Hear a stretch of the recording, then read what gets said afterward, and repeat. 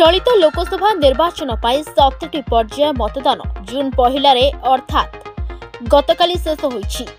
ଏକ ହଜାରରୁ ଅଧିକ ପ୍ରାର୍ଥୀ ଓ ପାଞ୍ଚଶହ ତେୟାଳିଶଟି ନିର୍ବାଚନ ମଣ୍ଡଳୀର ଭାଗ୍ୟ ଓ ଷ୍ଟ୍ରଙ୍ଗରୁମ୍ରେ ସାମିଲ ହୋଇଛି କେନ୍ଦ୍ରଶାସିତ ଅଞ୍ଚଳ ହେବା ପରେ କାଶ୍ମୀରରେ ପ୍ରଥମ ଥର ପାଇଁ ମତଦାନ ହୋଇଛି ପାଞ୍ଚ ବର୍ଷ ମଧ୍ୟରେ ଜମ୍ମୁ କାଶ୍ମୀରରେ ବହୁତ କିଛି ବଦଳି ଯାଇଛି ଅଗଷ୍ଟ ପାଞ୍ଚ ଦୁଇହଜାର ଉଣେଇଶ ଜମ୍ମୁ କାଶ୍ମୀର ଏବଂ ଲଦାଖବାସୀଙ୍କ ପାଇଁ ଏକ ନୂଆ ଅଧ୍ୟାୟ ରଚନା ହୋଇଛି ବୋଲି କୁହାଯାଏ ତେବେ ଧାରା ତିନିଶହ ସତୁରି ଉଚ୍ଛେଦ ଗଣତନ୍ତ୍ରକୁ ସହାୟକ ହେଉଛି କି ଆକଳନ ମଧ୍ୟରେ ଏକ୍ଜାକ୍ଟ ରିପୋର୍ଟ ପୂର୍ବରୁ ଏକ୍ଜିଟ୍ ପୋଲ୍ ରିପୋର୍ଟ ଆସିଛି ଯେଉଁମାନେ ଭାବୁଥିଲେ ଧାରା ତିନିଶହ ସତୁରି ଉଚ୍ଛେଦ ହେଲେ ଉପତ୍ୟକାରୁ ବିଜେପି ଲୋପ ପାଇବ ସେମାନଙ୍କ ପାଇଁ ଭବିଷ୍ୟବାଣୀ କିଛି ଅଲଗା କଥା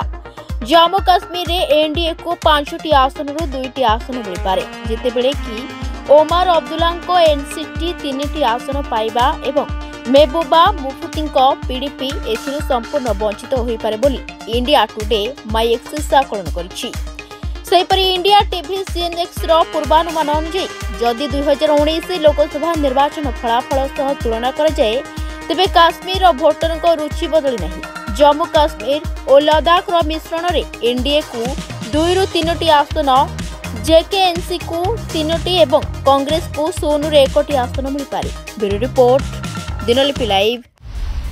Dinlipi লাইভক এবেই হেই লাইক শেয়ার সাবস্ক্রাইব কৰন্তু